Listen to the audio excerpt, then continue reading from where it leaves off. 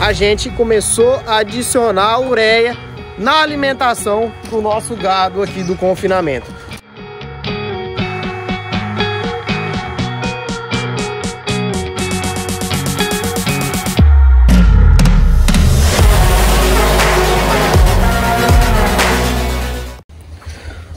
Moçada, bom dia, tudo bem com vocês? Moçada, hoje eu vou falar sobre um assunto que é um pouco polêmico, então vai ter o vídeo aqui de parte 1, parte 2 e assim por diante. Vamos ver em quantos vídeos a gente vai dividir para estar tá falando tudo sobre a ureia. Moçada, aqui no nosso confinamento, a gente não adicionava ureia, mas depois de vários tempos, depois de tempo, depois de pesquisa, depois de amadurecimento de ideia, de ter buscado informação, a gente começou a adicionar ureia na alimentação do nosso gado aqui do confinamento.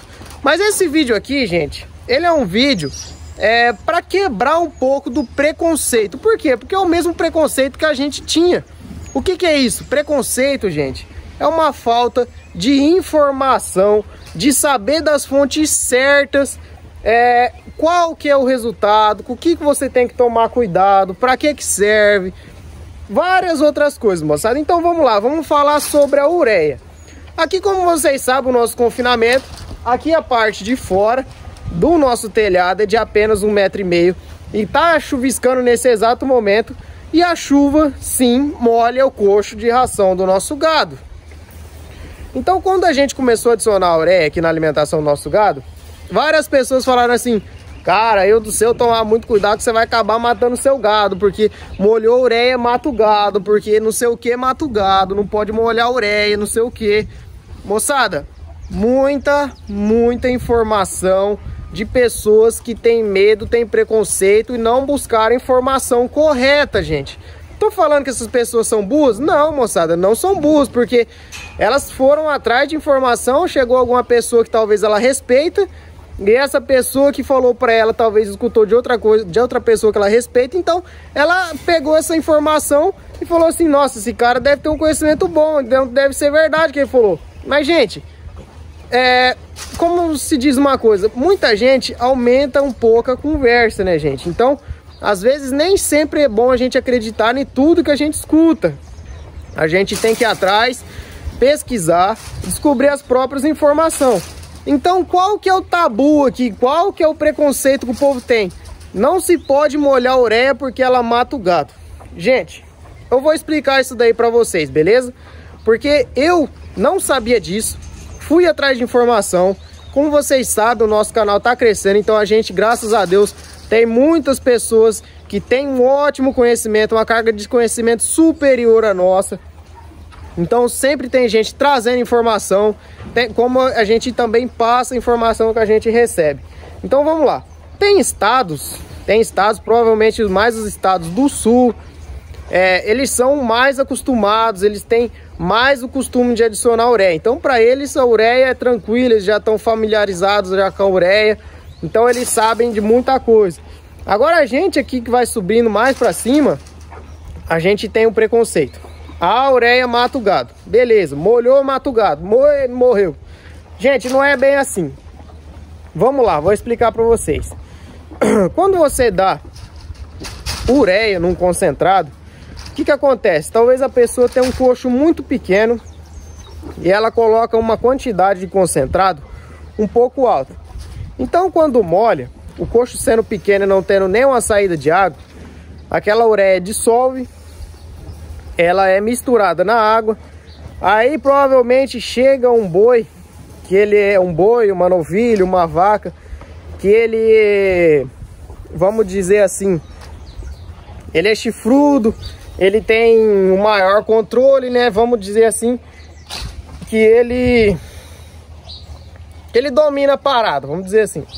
Aí o que acontece? Se o seu coxo for um coxo pequeno, provavelmente ele vai lamber ali, ele mais uns dois, por vez. Então quem chegou primeiro bebe água limpa, mas no caso ele bebe uma água cheia de ureia. Então, moçada, o que acontece? Poucas cabeças vão beber uma quantidade muito alta de ureia. Sim, pode estar tá matando o seu gado. Por quê? porque você desregulou o pH do rumen, etc. A quantidade foi muito alta, intoxica, mata o gado, beleza. Mas, moçada, isso é muito difícil de acontecer. Agora, no confinamento aqui, você pode colocar a dosagem normal. moçada, eu tô com a voz meio ruim, que eu peguei uma chuva, tô meio gripado, mas vamos lá. Agora aqui no confinamento, moçada, o que, que a gente visa? É, como vocês podem ver, no confinamento é muito importante é, o gado ter o espaço suficiente para todos chegar no coxo junto de uma vez. É muito importante isso para que todos cresçam igualados. Então quando a gente adiciona a ureia, a gente joga ela de fora a fora no coxo, em cima da silagem, porque aqui a gente não tem vagão misturador. Então a gente joga em cima da silagem. Quando o gado vem comer, eles comem tudo junto. E como ela está de fora a fora no coxo, todos comem mais ou menos aproximadamente a proporção exata que a gente colocou. Ah, mas choveu. Choveu, moçada, não tem problema. Porque o coxo é muito comprido, todas conseguem chegar e comer ou beber a água que tiver junto. Provavelmente não vai ter água empoçada porque vai ter silagem, então ela vai ter que comer essa silagem, talvez mais úmida que o normal. Então, gente, não tem o perigo. Qual que é o perigo da ureia? O perigo da ureia é você colocar uma dosagem muito alta, moçada, para um gado que não está acostumado. Então esse é o problema. Agora num, num coxo a céu aberto, num coxo limpo aí, que é proteinado, proteinado é o que? Ele é uma quantidade muito baixa, moçada. O gado no máximo aí, eu não sei a quantidade exata de gramas que um, uh, um boi adulto aí vai lamber por vez, por dia. Mas vamos colocar aí 300 gramas. Então se eu tenho lá 10 bois no piquete, tem que ter 3 quilos de proteinado diário. Vamos dar um exemplo assim.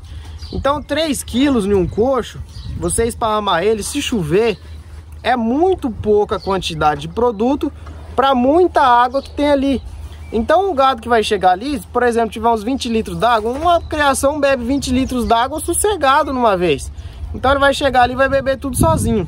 Agora num confinamento, moçada, não é assim. No confinamento todos vai ter espaço, todos vai estar comendo ao mesmo tempo. Se chover vai molhar, mas todos vai beber aquela água junto. O importante, gente, é a dosagem. A dosagem tem que ser certa.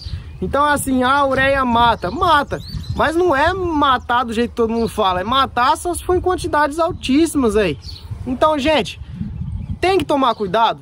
Tem que tomar cuidado. No caso da gente, adicionamos a ureia recentemente, a gente ainda tá pegando uma certa intimidade com ela, a gente tá ainda vendo o funcionamento dela, mas é importante você dar o primeiro passo. Dá o primeiro passo, começa devagarzinho, gente. Não acredite muito em histórias antigas, é, em preconceito, gente. Não tenha preconceito, senão você não cresce. Porque senão uma pessoa chega e traz uma informação correta, fala assim, ah, a ureia tem que ser dosada, gente, tem que tomar cuidado. Começa devagarzinho. Não é que ela mata, ela não sai matando. Não é assim, gente. Mata só se for em quantidades altíssimas, gente. Não tenha preconceito, procura novas informações. Começa, começa devagarzinho. Eu sempre falo aqui, gente, começa, mas começa devagar. Começa para você ganhar o conhecimento. A gente aqui, é, vou, vou, dar um exemplo para vocês. A nossa meta final é dar 60 gramas para as bezerras de recria nossa. Sabe quantas gramas que eu comecei? Com 10 gramas, moçada. E assim a gente vai indo devagarzinho para a gente pegar a intimidade, a gente conhecendo como que funciona. Para não dar errado, para a gente já logo de cara falar assim, ah, não presta, não quero mais. A gente não sabe o resultado, moçada. Então vamos lá, ó. Não tenha preconceito procura informação de fonte certa, procura se informar, para você sempre evoluindo, moçada, porque quem não acata informação, quem não vai atrás da informação, fica para trás, moçada. Então, vamos lá. Se você tem algum preconceito, quebra esse preconceito, moçada. Vai atrás da informação, começa devagarzinho, porque tudo, moçada, tudo dá resultado se você fazer da forma correta. Beleza, moçada? Então, um abraço, tudo de bom, fique com Deus.